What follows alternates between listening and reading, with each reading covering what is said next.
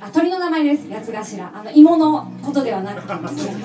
八つ頭という鳥の名前です。まあ、芋をテーマにねやるっていうのはなかなかないと思うんですけど、えーまあ、野鳥がね大好きということで。このね八つ頭が大好きで、えー本当に今回のツアーで八つ頭を見るためにこの時期にツアーを組んだと言っても過言ではないんですが残念ながら見れておりません。3日間チャレンジしたんですけどはい。も、あのえーーえっ、とクラブメットと。彼らのクラブメットの、まあ、敷地内と。と赤石。赤石の赤石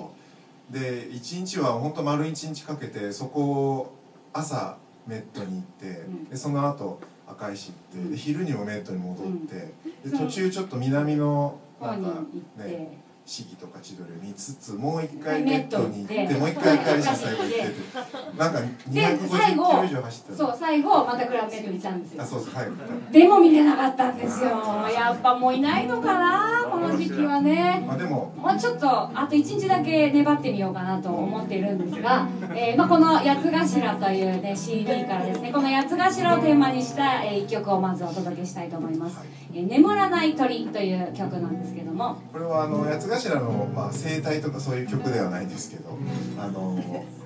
八つ頭をに憧れてそれを追いかけてるうちに、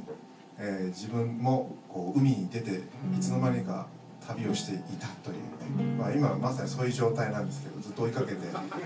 会ってもいないのにずっと憧れて追いかけていると。いうまあ、えーそういうなんか誰か憧れの存在とかあの皆さんもいると思いますけどその追いかけてるうちに夢中になってるうちにそのもう何ですかねその道の旅に、えー出ているというそんな曲です。それでは「眠らない鳥」